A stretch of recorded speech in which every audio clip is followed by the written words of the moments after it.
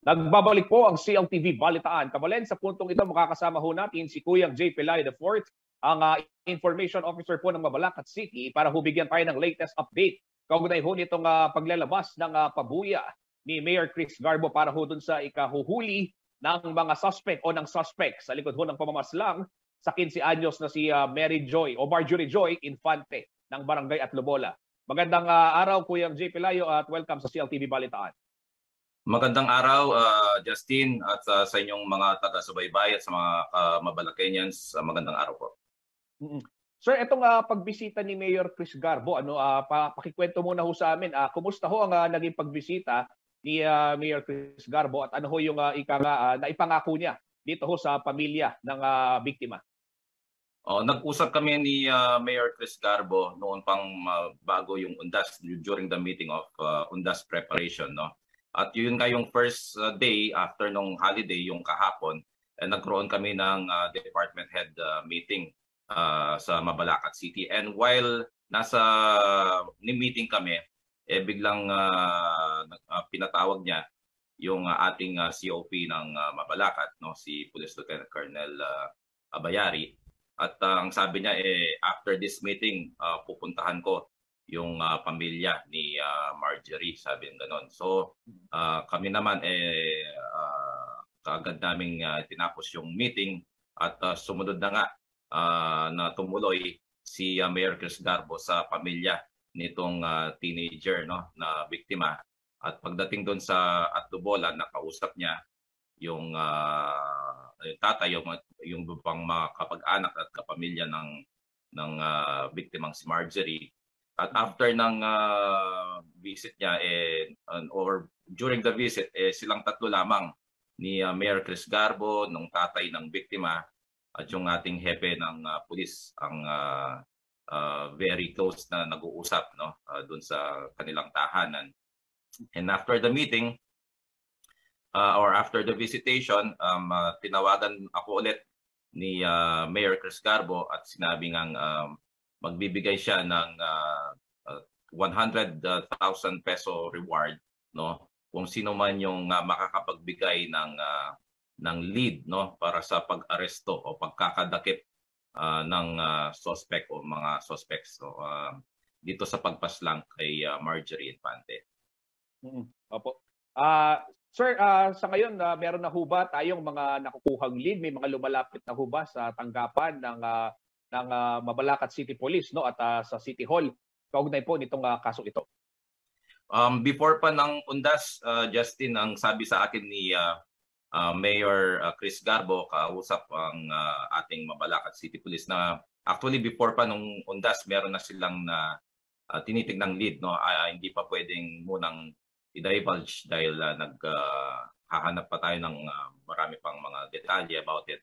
Uh, pero dito sa um, reward no na nabanggit ni uh, Mayor uh, Chris Garbo eh umaasa kami na mas marami pang mga darating na impormasyon na na makakatulong no sa paglutas ng uh, kasong ito. Apo. Sir, aside from the 100,000 uh, peso reward ano na inilabas po o na inalok ni uh, Mayor Garbo, uh, ano pa ho yung uh, pwedeng maging uh, assistance ano na maitutulong ho ng ating uh, city government doon sa pamilya Infante lalong-lalo na. Uh, sa panahong ito eh talagang uh, gaya nga ng nabanggit eh mabigat ho yung nangyari sa kanila. Namatayan na nga ho sila ganito pa yung nangyari. And uh, of course may mga expenses ho yan. Meron ho bang uh, iba pang maitutulog yung uh, ating uh, city sa pamilya ho ng biktima?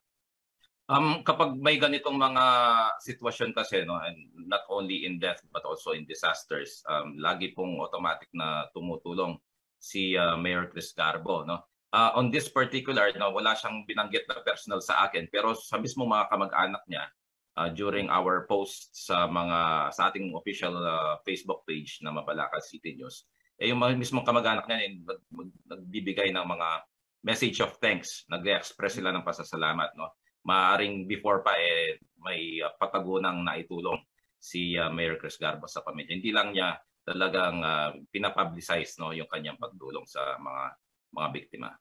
Opo. Sir, itong kasong ito, uh, sabihin natin talagang uh, ika nga, na, ikinagulat ng marami sa atin ano at uh, kahit siguro sino Eh nung actually nung linive po namin ito, uh, umabot ng mahigit isang libo yung talagang tumutok dahil 15 anyos na dalagita ang uh, naging biktima at ganito na lamang inabot ano. Moving forward sir, ano ho yung magiging patakaran? Ano ho yung marching order ng uh, city government ni Mayor Garbo para ho hindi na maulit yung mga ganitong krimen? Of course, alam natin uh, maraming factors 'yan, pero ano ho yung pwedeng gawin ng lungsod para tiyakin yung kaligtasan ng mga mamamayan at uh, syempre, tiyakin din ho yung kaligtasan nitong uh, kahit yung mga bumibisita sa atin ho sa Mabalacat City lalo na alam natin uh, isa hong uh, ika din ng mga turista yung uh, Mabalacat City gateway no, to the north po yan.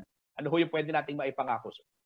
Yan, no, uh, unang-una, uh, dahil uh, relatively new yung ating uh, COP ngayon, uh, ito ay isa sigurong uh, challenge uh, sa ating bagong uh, hepe no at pero uh, nakikipag-ugnayan naman ng maayos ang uh, lokal na pamalaan sa ating uh, Mabalacat uh, City Police at uh, sabi rin ni uh, Mayor Chris Garbo na kailangan uh, paigtingin din ng lahat ng mga barangay officials no uh, yung kanilang uh, at pagpapatrolya sa kani-kanilang mga nasasakupan no uh, ito ay um, hindi birong uh, insidente, hindi biro, birong krimen. No? Um, nakakagalit itong mga ganitong pangyayari at uh, kailangan na uh, dapat ito ay uh, panghuli na lamang sa mga balitang uh, maririnig natin na mayroong mga ganitong uh, pangyayari no? Um, kailangan tayong lahat no? Buong community